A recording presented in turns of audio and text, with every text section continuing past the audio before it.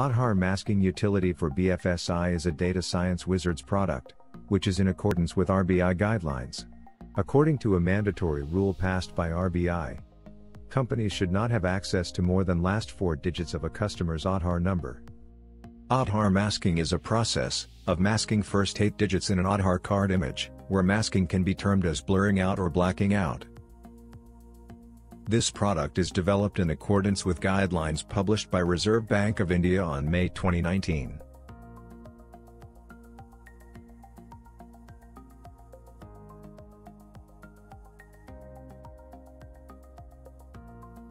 Powered by optical character recognition and deep learning, this utility masks the first 8 digits of any Aadhaar card image.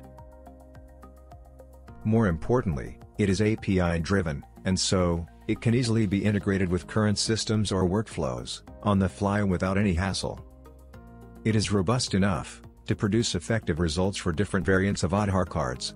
It also handles a good amount of rotation, skew and blur with great ease. 100 times faster masking Aadhaar cards, which manually could take a huge amount of time and manpower. Comes with a feature of bulk process, wherein a huge number of images can be masked, with a proper schedule and multiprocessing.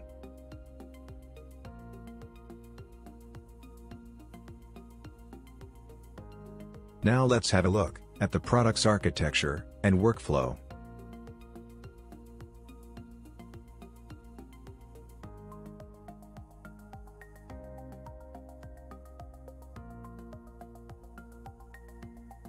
We start with passing the images to the Aadhaar classifier engine.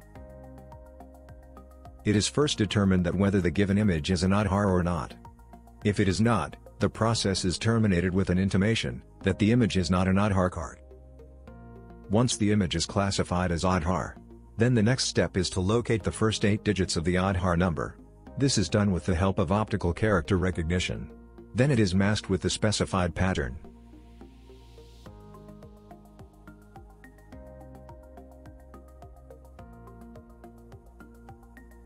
The masked image is then stored in the specified location. To know more, contact us on info at datasciencewizards.in or call us on the given number.